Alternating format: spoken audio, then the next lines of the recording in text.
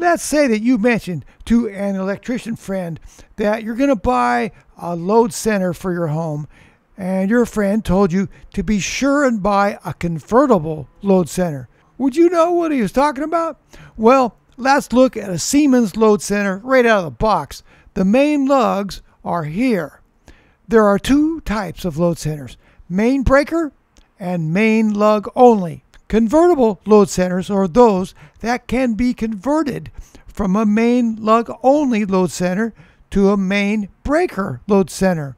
A main lug type load center does not have a main circuit breaker. The incoming supply cables are connected directly to the main lugs and bus bars. Main lug only load centers are used as a distribution panel where there is a main breaker upstream in the system. Main breaker load centers are suitable for use in service entrance applications. The incoming supply cables of a main breaker type load center are connected to the main breaker, which in turn feeds power to the load center and its branch circuits.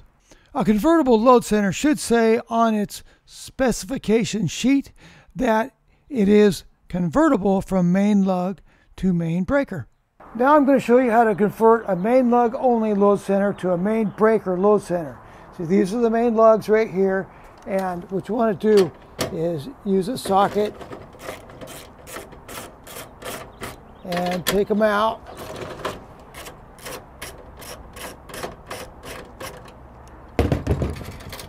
Okay, they come right out like that and we're not going to be using them. I'm going to put them aside. Okay, we're going to use these nuts though. Okay, so here is our new breaker right here. This is a 150 amp uh, main breaker and it has a item right here that goes right in here. Okay, and then there's another uh, place for this right here. It'll only go on one way, so you don't really have to worry about it. You put this right in here, and then these go over the bolts that stick out, and then you put your nuts back on like this. So this is called a convertible load center. We're converting it from a main lug only load center to a main breaker load center. Okay, so here I have my AC Delco torque wrench and I have it set to 45 inch pounds. I've, I found the torque for this on the sticker inside the panel door. All right, so it's 45 inch pounds. You put it on there.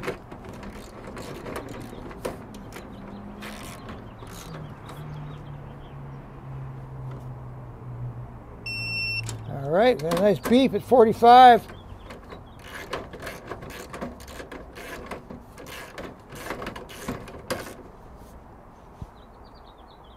Okay, 45. So we got these torqued down properly. And we've got a new breaker here. See, on and off. I got it on and off. And it's best to put these on uh, before you install the panel. It's really safe that way. There's no uh, problem with electricity because it's, you know, it's not installed yet. So that's a good time to do it. Now, if you want to use this as a main service breaker, you got to put in the bonding screw. And we look on the sheet again and it says 45 inch pounds. So you take, you put your bonding screw in and this time I'm going to use my Wiha. I got this set to 45 inch pounds. Notice I got 45 inch pounds on the AC Delco and I got 45 inch pounds on the Wiha. So I got my choice. Uh, these are, are better for the bolts and these are better for the screws in my opinion. So, yeah, just this is only if you need this for a, a, main service breaker. For just a main breaker, then you don't want this. You don't want this bonded.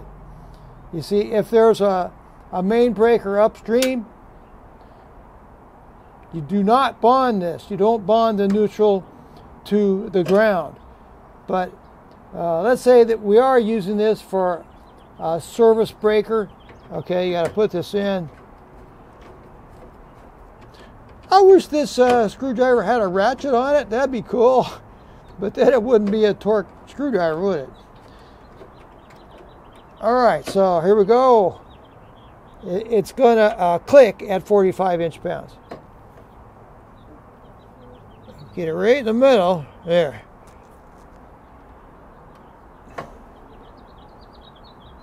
There we go. Okay, 45 inch pounds, 45 inch pounds. This was also 45 inch pounds, by the way. 45 inch pounds. And so uh, there we go. We've just converted this from a main lug only to a main service breaker. If it's just a main breaker panel, you don't want this bonding screw. If it's a main service breaker panel, then you want the bonding screw. So now you install your cables here and here, and you torque these down. It happens to be 250 inch pounds. Uh, you find that on the sheet on the door panel again. Okay, these are lug protectors, and they go on right like this. See, your cable goes right through here.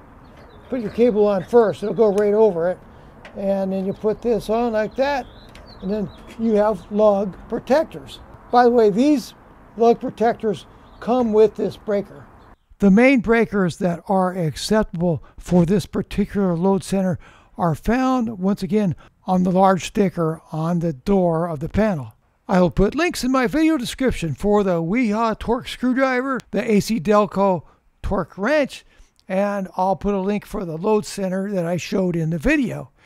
Thanks. I hope this video was helpful.